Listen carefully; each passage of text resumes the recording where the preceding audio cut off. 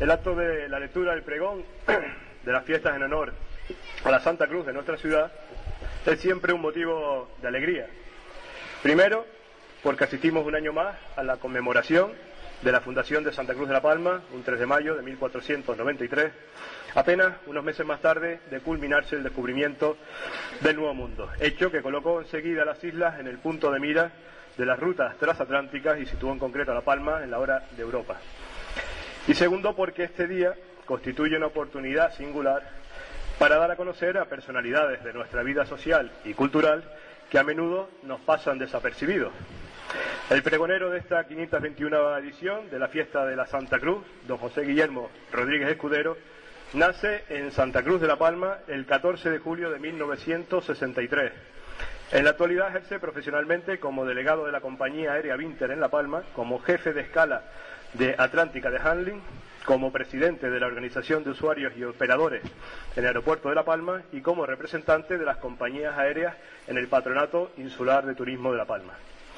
Pero sin duda su faceta más conocida se ha desarrollado en el ámbito de la investigación y de la difusión de temas patrimoniales, histórico-artísticos vinculados a la isla de La Palma, constituyendo su firma un referente en Canarias. Yo me siento muy orgulloso de ser y de sentir a Santa Cruz de la Palma. Cada vez que me preguntan por ahí fuera, yo busco el momento para decir que soy de aquí, con orgullo y con la boca muy grande y cada vez más. Una ciudad, y entramos ya en materia, que dentro de unos días, el día 3, celebra la onomástica de la Santa Cruz, desde que Alonso Fernández de Lugo llegase y lograra su fundación en esta fecha, 3 de mayo de 1493. Aunque existen otros investigadores que ponen la fecha de, fundación de la ciudad tres años antes, en 1490. Sea lo que sea, esta devoción a la Santa Cruz procede de una costumbre de finales del siglo XV que se impuso por la intervención del adelantado y de los religiosos y militares que lo acompañaron en esta contienda bélica. La nueva población, la villa de Santa Cruz, como fue denominada desde su comienzo, conmemora anualmente esta efeméride. Este año, como decía el señor alcalde, se celebra nada más y nada menos que el 521 años de la fundación de la muy noble y leal ciudad. Pocos pueblos pueden decir lo mismo. Aquellos frailes franciscanos que venían con el, con el, adelantado idearon la Benedicta Via Crucis, que era una instalación de 14 cruces en torno al convento real y grande de la Inmaculada Concepción de Nuestra Señora, que todos conocemos como San Francisco de Asís. Recordemos que el Camino de la Cruz es un sendero señalado eh, con diversas estaciones o cruceros que recorrían eh, el pueblo, los religiosos, rezando en cada una de ellas memoria de los pasos que dio Jesucristo en su camino al Calvario. Aquellos seráficos padres, desde muy pronto, salían procesionalmente a la ermita del milagroso Cristo del Planto, extramuros de la ciudad, con numeroso acompañamiento de pueblo. Allí, todavía, a espaldas de la pequeña iglesia, existe un pequeño calvario erigido donde, eh, donde se hacía la penitencia. Mucha gente asistía a esta procesión, muchas personas cargadas con alguna de las insignias de la pasión y cubiertas con el saco morado de penitente, cuyo disfraz encubrió más de un crimen. Así, por ejemplo, la trágica leyenda de la Cruz de los Pasitos, precisamente, tuvo como protagonista a un enamorado celoso, disfrazado de penitente en esta procesión que mató a su prometida hundiéndole un puñal en el corazón, en memoria de aquel terrible suceso, en el mismo sitio que se perpetró el crimen, se colocó una cruz al día siguiente.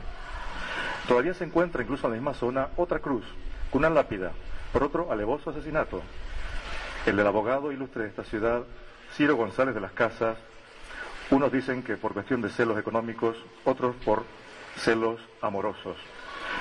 En cuanto a las verdaderas mm, reliquias del Sagrado Madero, llamados Lindum Crucis, la isla posee tres, como todos sabemos, en la parroquial de San Pedro de Reña Alta, pero en Santa Cruz la Palma dos, en el Real Santuario de Nuestra Señora de las Nieves y otra en la Orden Tercera, o llamada Orden Franciscana Seglar.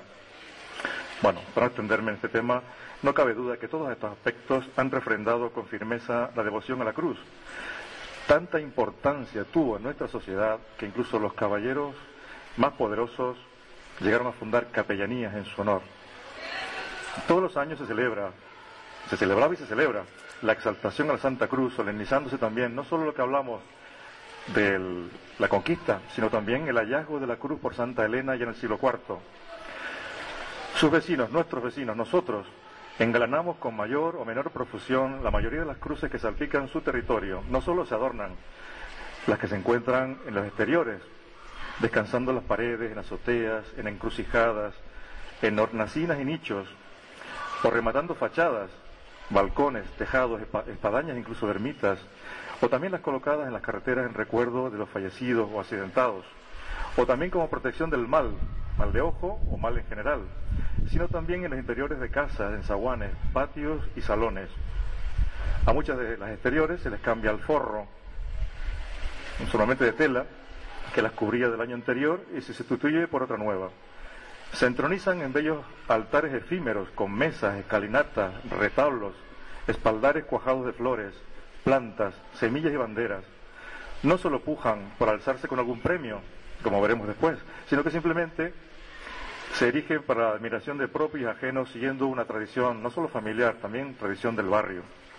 Don Antonio García lo veo por allí, encargado de enramar la, cruz de Columba, por ejemplo, es una cruz de altar que tiene aún todavía las maderas originales, uno de los travesaños de aquel primitivo Via Crucis. Le preguntaba por qué llamaba la cruz columba, me decía que porque una señora que ocupaba de sus abuelitos desde pequeña, pues se ocupaba de adornarla. Hace tiempo, en torno a las cruces, esta fiesta se arropaba con loas, algunos las llamaban las lobas, no con sin el toque de sorna palmera. Y mediante curiosos artilugios normalmente mecánicos, aparecía la, luz, la cruz en el altar o en el escenario. lamentablemente esto ya, exceptuando con alguna que otra rara eh, excepción, la aparición con tramoyas ya no se realiza. Un etnógrafo nuestro de aquí de Santa Cruz de la Palma, el querido Pérez Vidal, destacaba con énfasis, textualmente, si la cruz es con aparición, el gentío que se reúne y se apretuja a presenciarla es enorme las más sencillas transfiguraciones, cualquier simple cambio de apariencia, entusiasma al ensoñador pueblo palmero, tan amigo de fugarse de la realidad.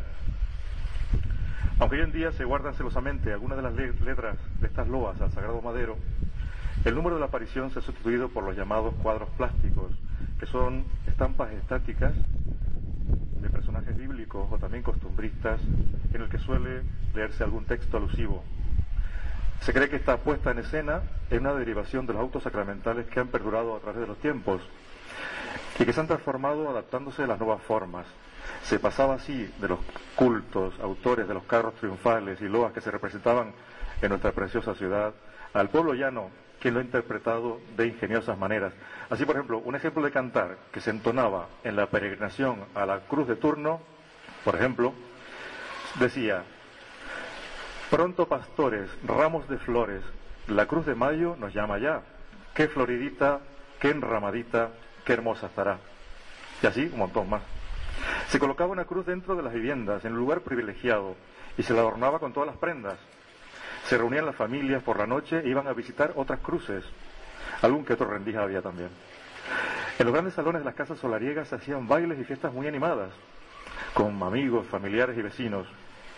En algún lugar, todavía hoy en nuestra ciudad, se montan estos pequeños altares fugaces. Yo recuerdo el Doña Lola, el barrio de San Telmo, o Juanjo, en la calle de la Luz.